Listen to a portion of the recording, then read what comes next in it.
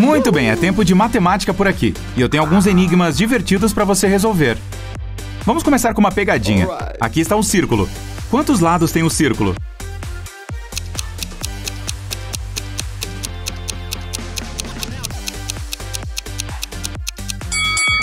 São dois, o interno e o externo.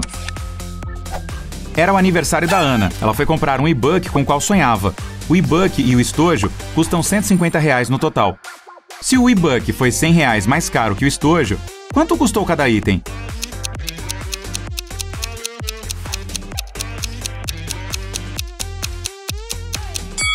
Digamos que o estojo tenha custado X, então o e-book custou X mais 100.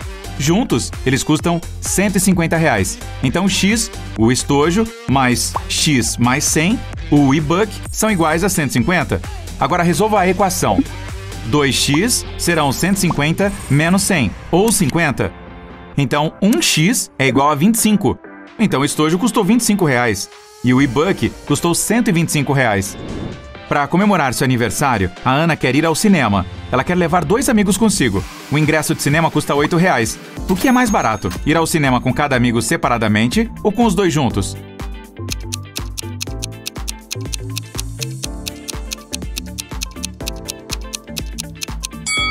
Claro, é mais barato ir com os dois juntos. Se ela for lá duas vezes, cada vez com um amigo, terá que comprar o ingresso para si mesma duas vezes. Assim, comprará quatro ingressos. Ah. Mas se eles forem juntos, ela só comprará três ingressos. Yes! Cinco amigos se encontraram pela primeira vez em cinco anos. Cada um apertou a mão de cada pessoa do grupo, mas apenas uma vez. Quantos apertos de mão foram feitos?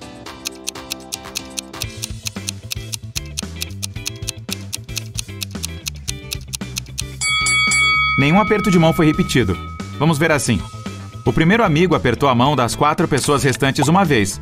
Assim, o segundo amigo já havia compartilhado um aperto de mão com a primeira pessoa. Então eles apertaram a mão de mais três pessoas. O terceiro amigo apertou a mão dos dois primeiros. Então ele apertou a mão de mais duas pessoas. E finalmente, os amigos 4 e 5 apertaram suas mãos também. 4 mais 3 mais 2 mais 1 é igual a 10. Então foram 10 apertos de mão. Brigitte tem que entrar no computador de sua mãe para deletar alguns e-mails que ela enviou acidentalmente. Oh! Mamãe tem uma memória fraca, então ela sempre tem lembretes com suas senhas. Felizmente o bilhete está na mesa novamente. Qual é a senha?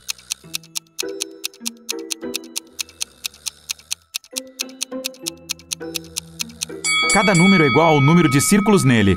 Então, o último número é igual a 3. A senha é um número de 5 dígitos, então experimente 82193. Daniela e Eloá são melhores amigas que moram em diferentes partes da cidade, mas estudam na mesma faculdade. Todas as manhãs, elas saem de casa no mesmo horário e se encontram em uma cafeteria para tomar um café antes das aulas. A Daniela vai de carro e a Eloá de bicicleta. Quando elas se encontram, qual garota está mais perto da casa da Eloá?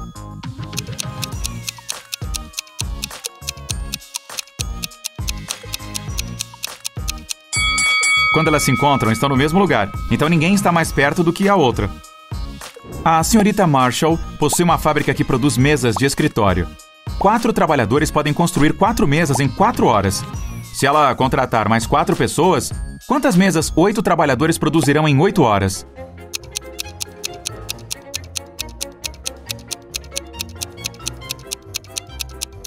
Se quatro trabalhadores produzem quatro mesas em quatro horas, isso significa que cada trabalhador produz uma mesa em quatro horas.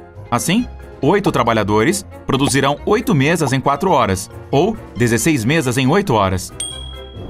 Maia tem quatro canetas: uma azul, uma preta, uma vermelha e uma verde. Elas estavam sobre a mesa em alguma ordem. Aqui estão algumas dicas. Primeiro, a verde está em algum lugar no meio. Segundo, a azul está à esquerda da preta e à direita da vermelha. Terceiro, a caneta vermelha está bem ao lado da azul. Qual a ordem das canetas?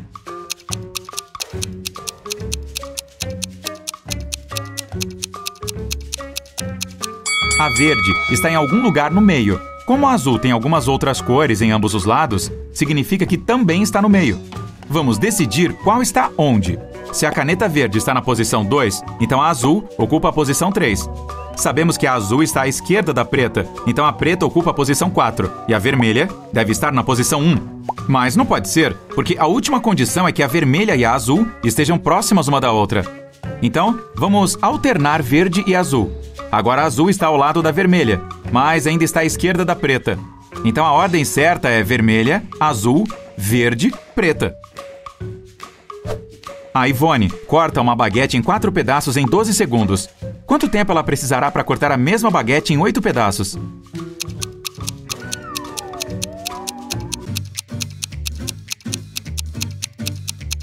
Vinte e oito segundos.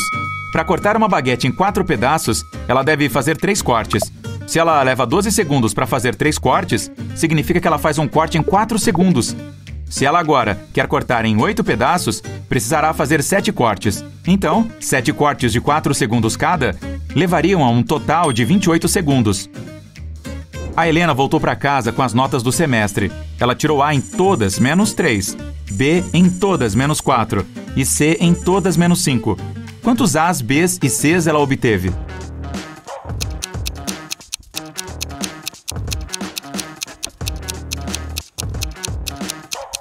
Vamos começar com os As.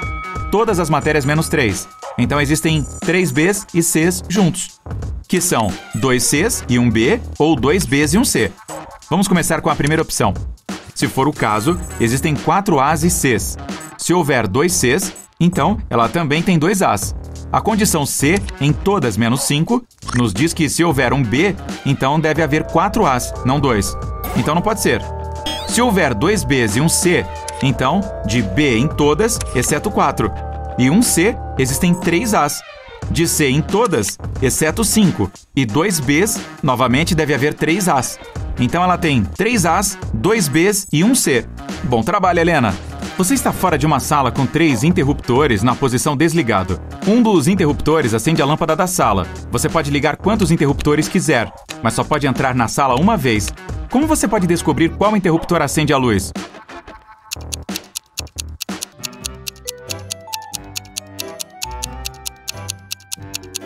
Ligue dois interruptores aleatórios e espere alguns minutos. Em seguida, desligue um deles e entre na sala. Se a luz ainda estiver acesa, o interruptor de controle é aquele que você deixou na posição ligado. Se não houver luz, toque na lâmpada. Se estiver quente, o interruptor de controle é aquele que você acabou de desligar. Se a lâmpada estiver fria, esse interruptor é o que você não ligou. Todos os domingos a senhora Adams dá dinheiro para suas filhas. Metade do valor total vai para a filha mais velha, a Estela. A segunda irmã, Astrid, recebe metade da quantia que a Estela recebe. A Eleonora recebe um sexto do valor total. E os 10 reais restantes vão para a filha mais nova, Sandra. Quanto dinheiro a senhora Adams dá?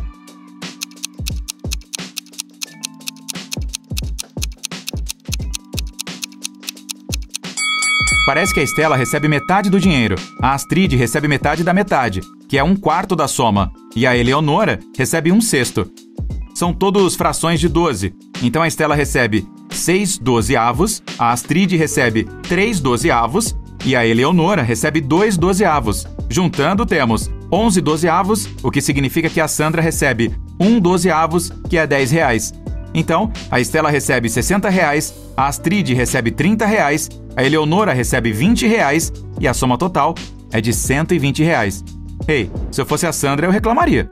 A Beth está indo de trem visitar sua melhor amiga, Bianca. O trem tem 150 metros de comprimento, está se movendo a uma velocidade de 150 metros por minuto e agora está passando por um túnel de 150 metros de comprimento. Quanto tempo o trem levará para passar pelo túnel?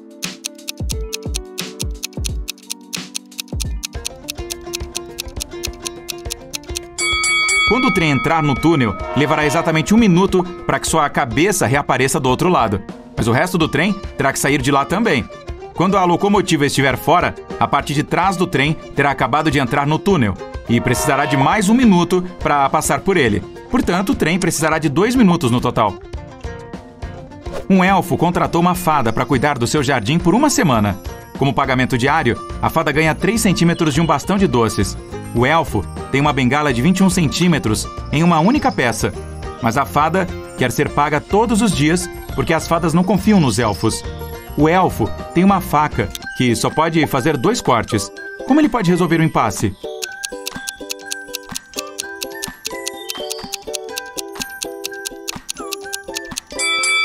Ele deve fazer dois cortes e dividir a bengala em pedaços de um sétimo, dois sétimos e quatro sétimos. No primeiro dia, ele lhe dará o pedaço de um sétimo. No segundo dia, ele dará o pedaço de dois sétimos e pagará o de um sétimo de volta. No terceiro dia, ele devolverá a ela o pedaço de um sétimo. No quarto dia, ele recebe de volta os pedaços de um sétimo e dois sétimos, e dá a ela um de quatro sétimos. No quinto dia, ele dá a ela um sétimo. No sexto dia, ele devolve um sétimo e recebe o pedaço de dois sétimos. E no último dia, ele dá a ela o pedaço final de um sétimo. Claro que essa coisa toda vai buraco abaixo se a fada comer o doce durante a semana. Hoje é aniversário do avô da fada. Ela quer visitá-lo e levar-lhe bengalas doces de presente. Seu avô mora em outra cidade e há três portões para atravessar no caminho. Em cada portão há um guarda. Para atravessar, a fada tem que pagar uma taxa com a metade das bengalas doces que possui. Mas ela recebe uma bengala doce de volta. Qual é o número mínimo de bengalas doces que a fada deve levar para garantir que ela chegue na casa do avô com duas bengalinhas doces de presente?